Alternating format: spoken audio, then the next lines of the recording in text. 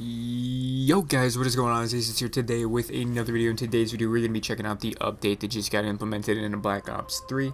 Hopefully, we got some new DLC weapons, limited time. I'm hoping for something, man, but it is 106. I just finished up a game of S&D, and I closed the app, and we are loading back in as we speak.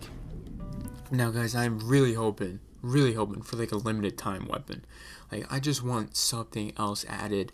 Um, Heatwave's been over for five days now, and we just need some new content. They gotta keep Black Ops 3 flowing fresh if they want to keep supporting it and keep building the hype for Black Ops 4.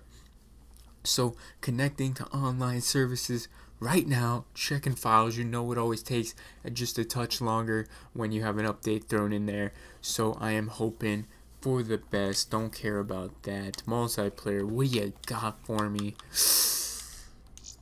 You got currency? Nothing. Got tasks to suit all seasons. Nothing. Check them out. Absolutely nothing.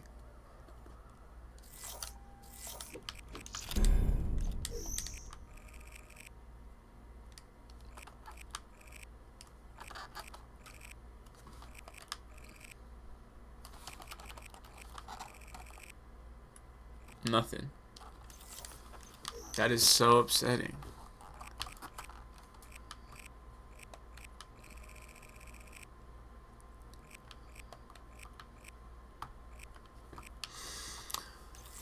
Well, I guess we really didn't get nothing.